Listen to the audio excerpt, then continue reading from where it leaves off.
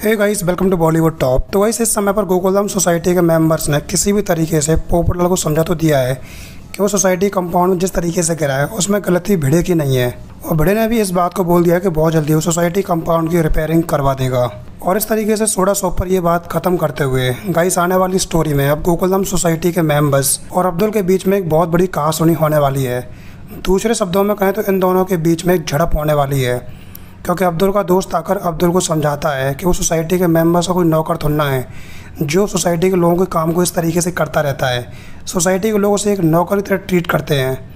वो आकर सोसाइटी के लोगों के सामान को उनके घरों पर देने के लिए क्यों जाता है? इसके बाद अब्दुल बोलता भी है कि ऐसा कुछ भी नहीं, सोसाइटी के लोग उसे अपने फैमिली के जैसा मानते हैं। इसमें नौकर वाली बात कहाँ से आ गई? लेकिन अगेन अब्दुल का दोस्त अब्दुल के कान भरता है और वो इस बात का एहसास अब्दुल को करवा देता है कि अब्दुल गोकुलधाम सोसाइटी में एक नौकरों वाली ज़िंदगी जी रहा है।